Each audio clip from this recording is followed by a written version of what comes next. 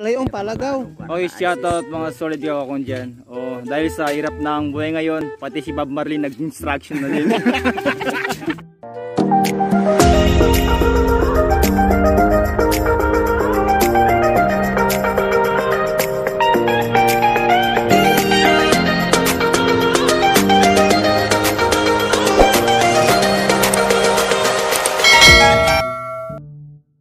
Palayong palagaw. Okay, shoutout mga solid kakakon dyan. Oh, dahil sa hirap ng buhay ngayon, pati si Bob Marley nag-instruction na din.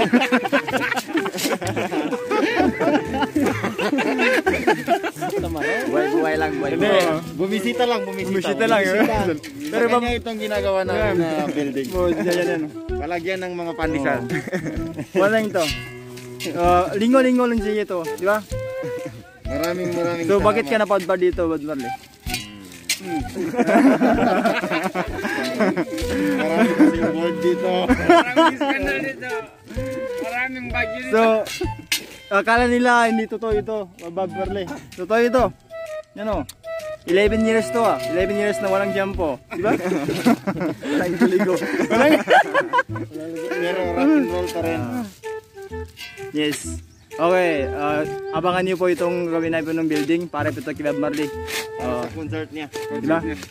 Para kung sa Jintin ka. Okay, sa hindi pa muna namin stage. Oh, tapos tapusin. Dito po sa Bagong Bayan, Sultan Gujarat. Okay. ano yung banda mo, Babarre? One, Titanos Man. Titanos Man. Hindi wala siguro nyo.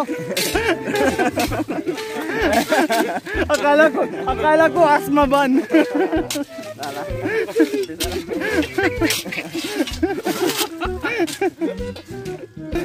Ano? Tetanus ba? Titanos.